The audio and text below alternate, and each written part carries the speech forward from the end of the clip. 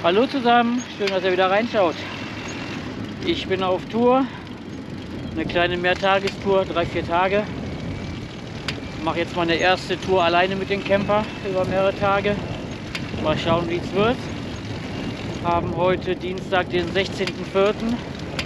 und wollte jetzt ganz gemütlich am Rhein entlang fahren, Richtung Hinterrhein und dann gucken, dass man die andere Seite wieder zurückfährt. Bin jetzt noch in Österreich, war gerade einkaufen. Erreichen jetzt gleich die Schweiz und dann schauen wir mal, was wir so unterwegs sehen. Viel Spaß!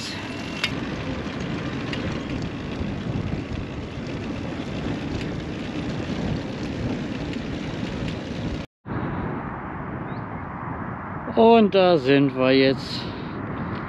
1, 2, 3, 4 und willkommen in der Schweiz.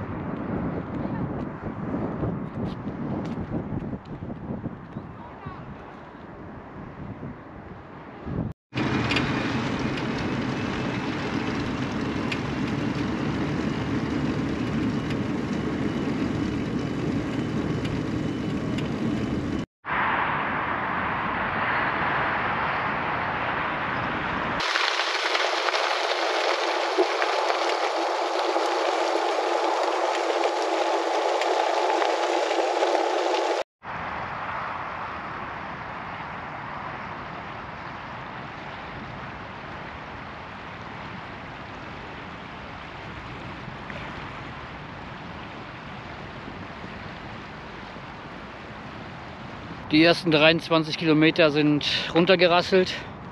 Es ist doch ein bisschen warm. Ist zwar windig, habe auch Gegenwind, aber werde die Jacke ausziehen und den Windbreaker anziehen. Ich denke, das wird angenehmer sein zum Fahren.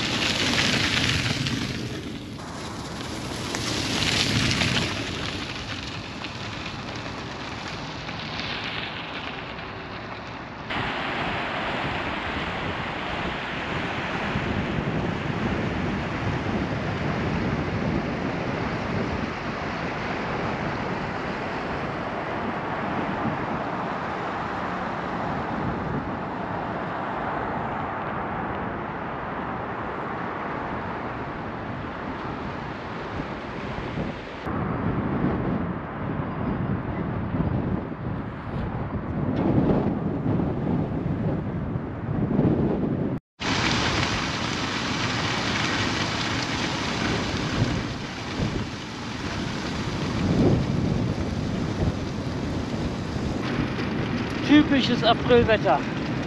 Alles dabei.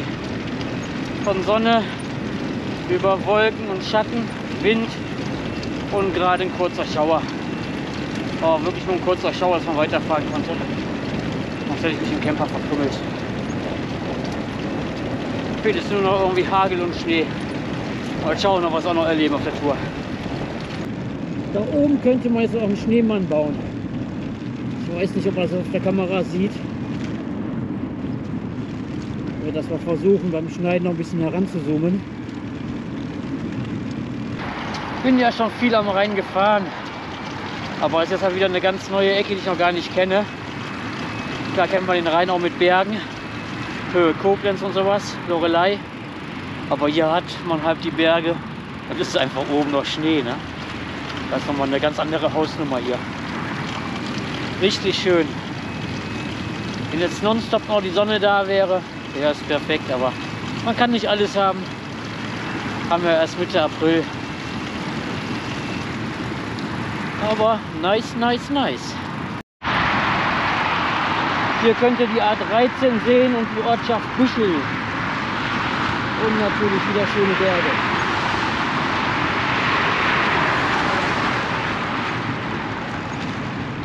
Und zur Linken haben wir den Rhein.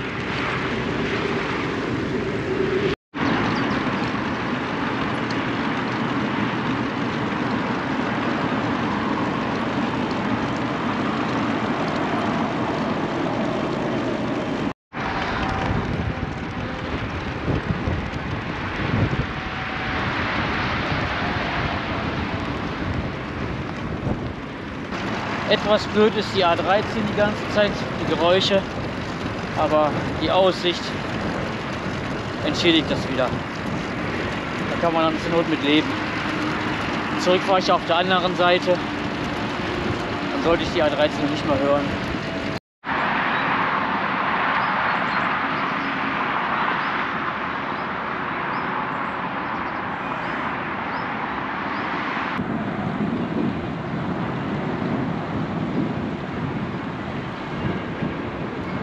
Da hinten scheint die Sonne, bei mir ist alles mit Schatten.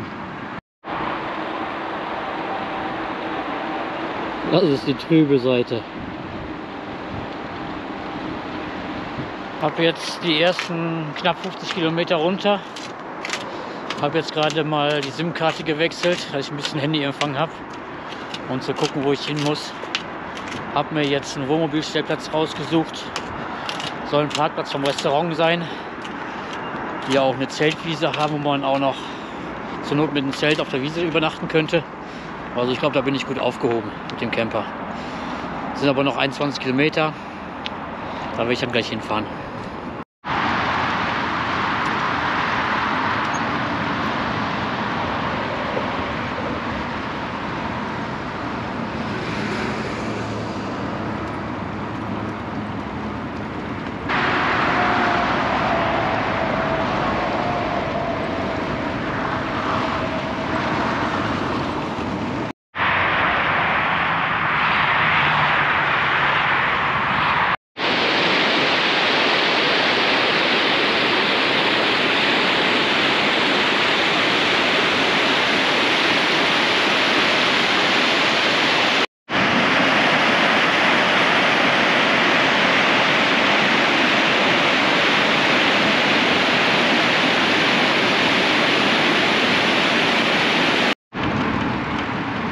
Es gibt auch mal Kurven hier.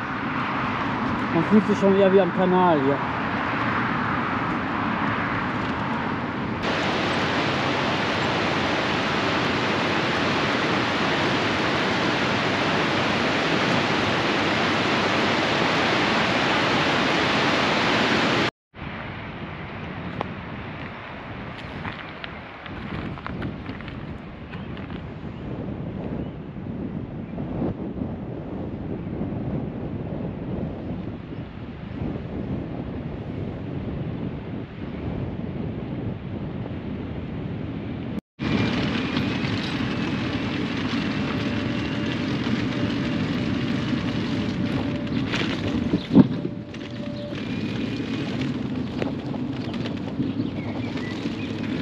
Einfach nur herrlich. Ich weiß nicht, wie oft ich das heute schon gesagt habe.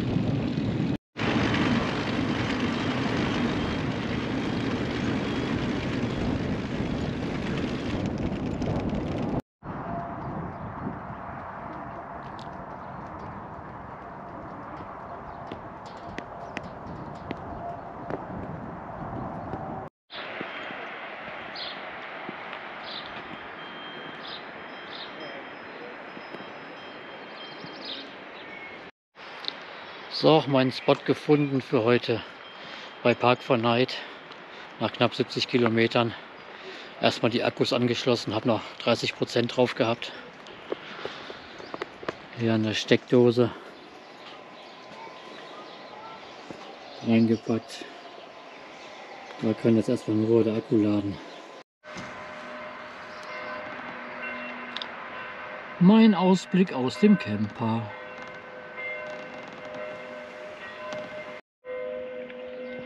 Schade, dass es so bewölkt ist. Jetzt könnte man da oben auch noch ein bisschen Schnee sehen. Sieht man jetzt bestimmt auf der GoPro wieder nicht richtig. Guten Morgen. Oben hinter den Wolken ist die Sonne. Da sind aber so viele Wolken davor. Mal schauen, ob die noch rauskommt. Bis bald.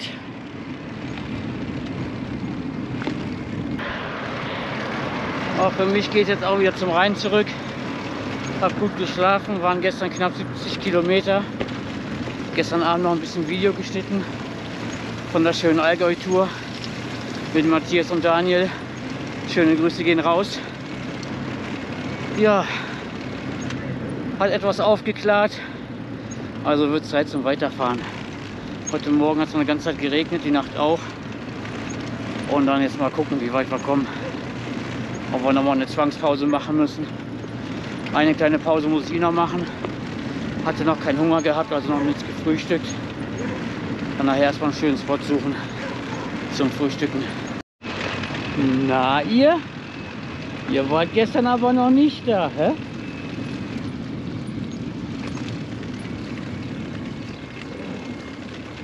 Da guckt er, was?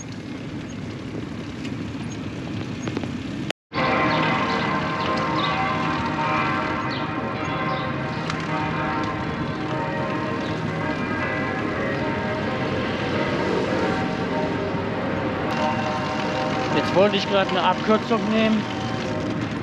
Aber jetzt bin ich so am Rumirren hier, hätte ich die Abkürzung auch sparen können. Ich dann wäre ich auf die gleichen Kilometer gekommen.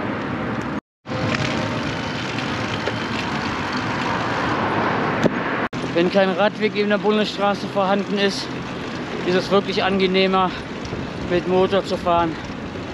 Kurz auf Stufe 5 schalten, einfach nur die Strecke runterrasseln.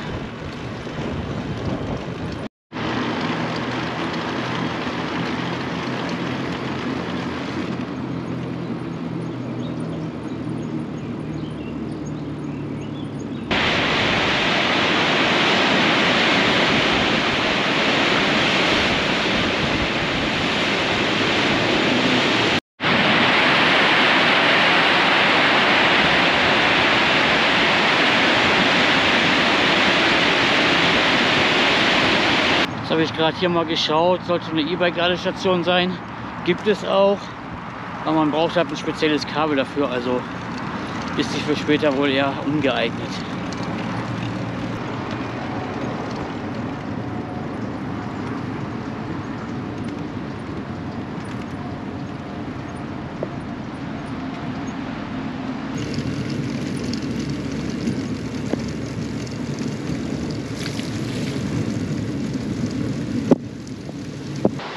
Auch ein schöner Rastplatz hier.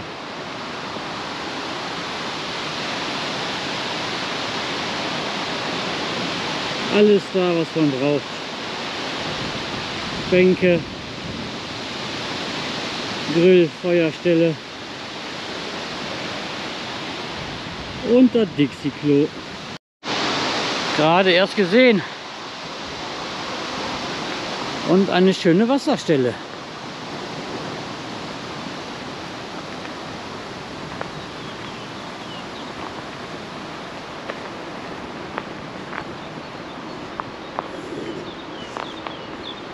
Very nice.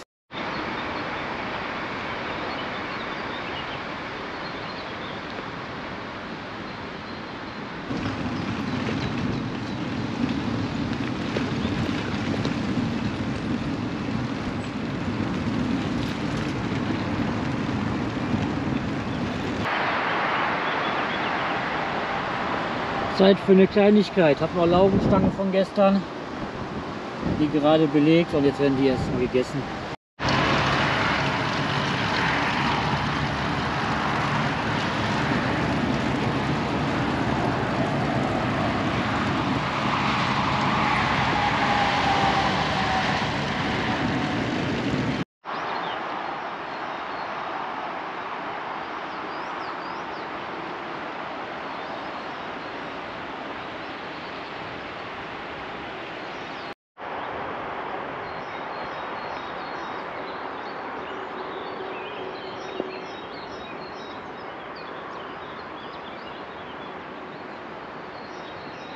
Hier könnt ihr den Vorderrhein sehen.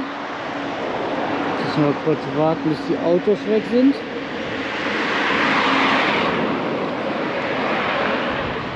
Auf der rechten Seite von euch ist das der Hinterrhein. Und zur linken Seite wird es dann der Rhein.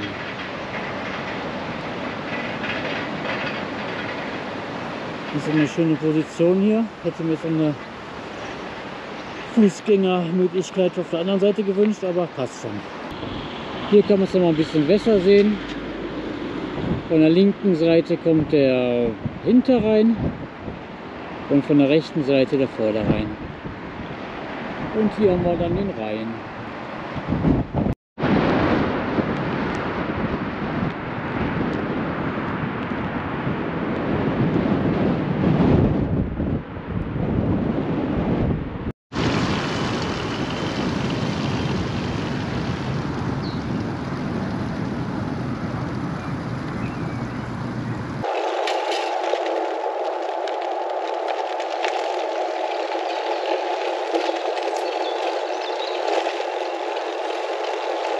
Guten Morgen, Donnerstag, der 18.04. Hab mich hier einen Weg hingestellt. Jetzt hinter mir fahren ein paar LKWs. War die Nacht aber sehr ruhig, war eine kleine Straße. Und jetzt geht es gleich ein bisschen weiter zur Ladestation und Akkus laden. Die Sonne soll zwar zwischendurch mal rauskommen, aber ich glaube nicht, dass ich damit meinen Akku wieder voll bekomme heute. Dementsprechend ca. 20 Kilometer kommt Ladestation. Da werde ich hinfahren, in Ruhe Akku aufladen, Filmchen schneiden.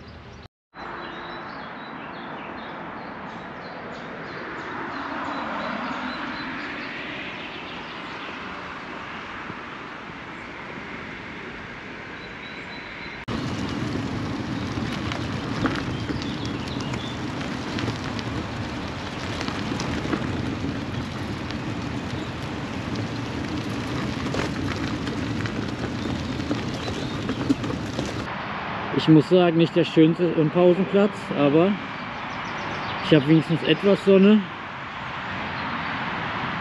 Und ich bin nicht ganz so nah an der Autobahn, weil die nächsten Kilometer bin ich noch näher an der Autobahn. Da habe ich dann gar keine Lust mehr zu. Also bleiben wir erstmal hier stehen. Ja, dann gibt es erstmal einen Kaffee hier.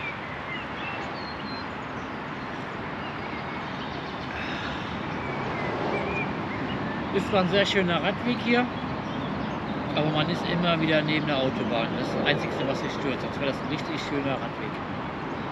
Aber trotzdem auf jeden Fall zu empfehlen, mal den Rhein ein bisschen an den Alpen entlang zu fahren. Passt schon.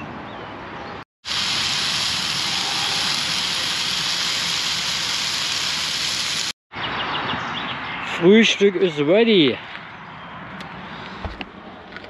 Einmal nochmal einen Kaffee bisschen Rührei, nachher noch eine Banane. Dann kann der Tag weitergehen.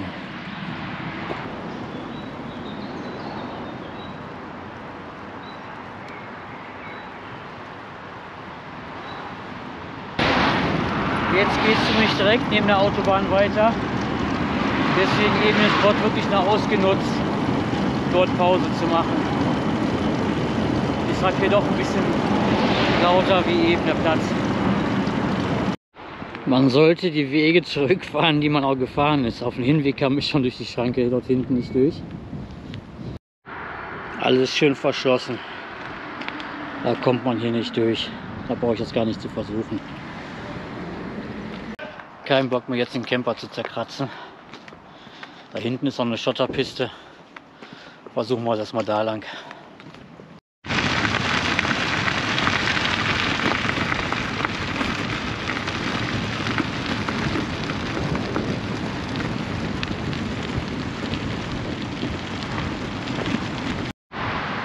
Hoch wäre ich die Schotterpiste bestimmt nicht gekommen, aber runter geht immer. Ein bisschen langsamer und vorsichtiger, dann passt das schon.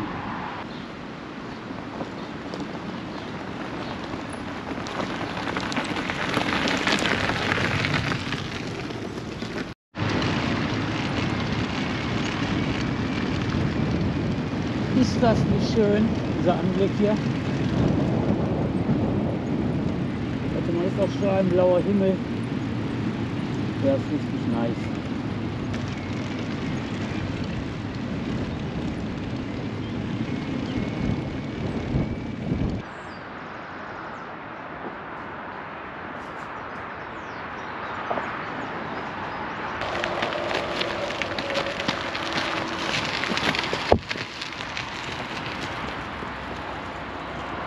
kurzes Stück bergauf, Schotterpiste mit dem Rad gar keine Chance gehabt.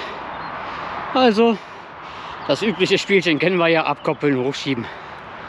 Oh, Ladestation erreicht. Wunderbar. Jetzt hat den Akku angeschlossen, die Powerstation. Jetzt steht man zwar voll in der Sonne, aber wenn jetzt gleich wieder Schatten kommt, habe ich keinen Nerv dazu.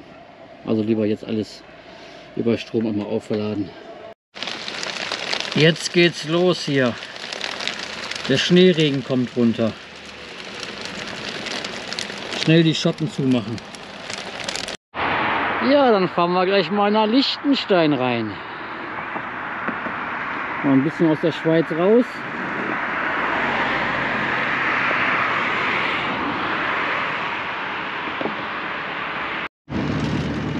Ich weiß nicht, ob man es auf der Kamera sehen kann, aber da oben die Häuser, da kann man sagen, man wohnt über den Wolken.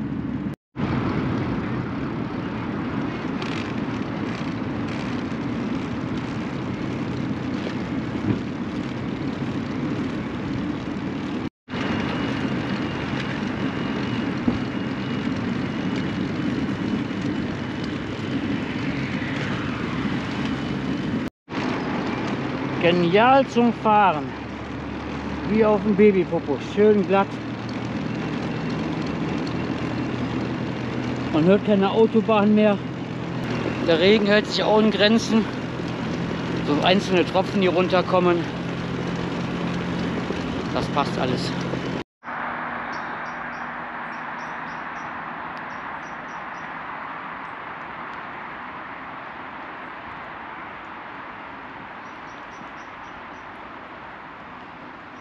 Nach 36 Kilometer fängt es wieder an zu regnen. Was macht man da? Natürlich Plane aufs Fahrrad und jetzt ab in den Camper rein. Das bleibt dann jetzt auch bei 36 Kilometern. Haben jetzt kurz vor 20 Uhr. Da habe ich jetzt keinen Bock, den Regen abzuwarten und dann weiterzufahren. Also mache ich es mir jetzt hier gemütlich. Guten Morgen, Freitag der 19.04. Kein Regen mehr, man kann gleich weiterfahren. Hab dann gleich noch ca. 35 Kilometer bis zu Matthias. Sollte ich bis zum Mittag schaffen. Da habe ich dann wieder WLAN, kann in Ruhe Videos weiterschneiden. Oh, jetzt erstmal gemütlich frühstücken. Mit Blick auf den Rhein und die Berge. Was möchte man mehr? Blauer Himmel. Dann wäre es richtig nice.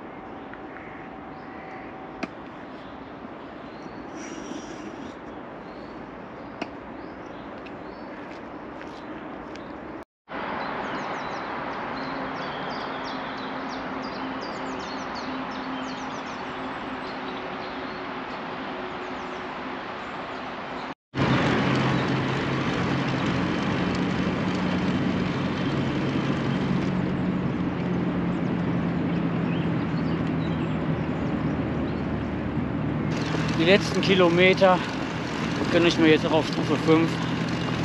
Dann wenn Matthias die Akkus wieder vollhauen, da passt das. Sorry, ich habe ganz vergessen, jeden Tag einen Screenshot zu machen von der Tour.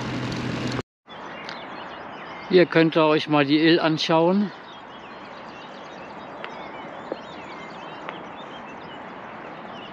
Und dort hinten mündet die Ill in den Rhein hinein.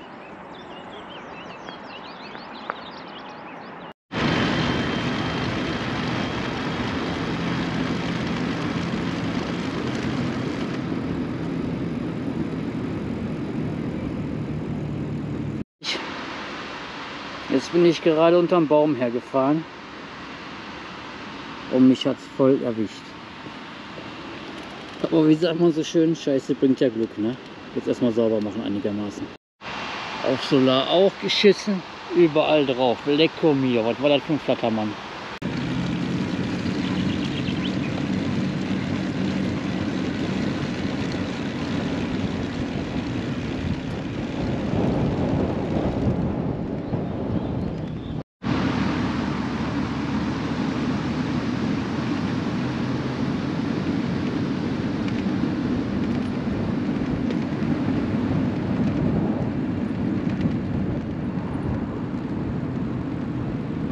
Etwas über 200 Kilometer bin ich gleich wieder bei Matthias angekommen. Hab noch irgendwie ein Kilometer oder zwei Kilometer bis zu Matthias.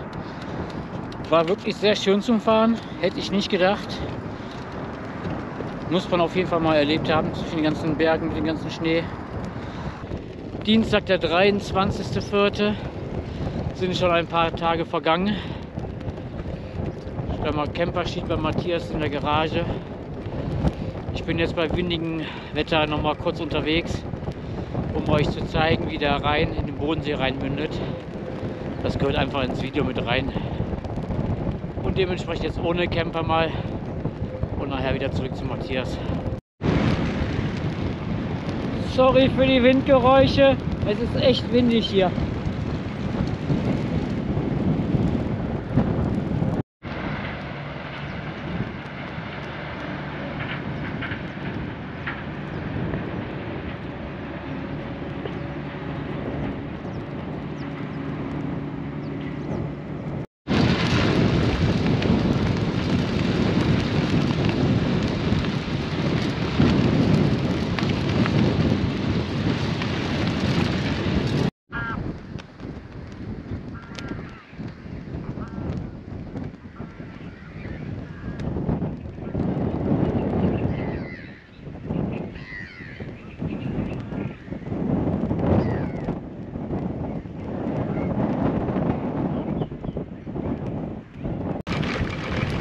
Der Wind ist echt heftig hier.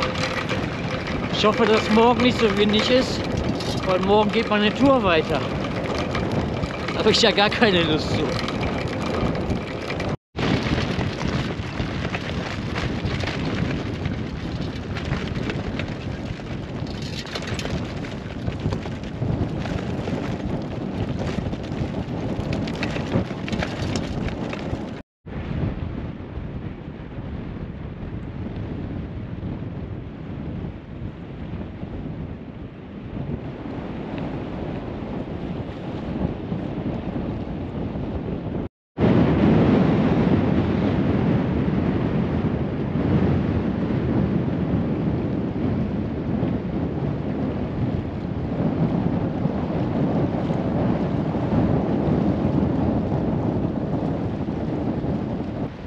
An dieser windigen Stelle mündet der Rhein in den Bodensee und für mich wird Zeit, das Video zu beenden und wieder zurückzufahren.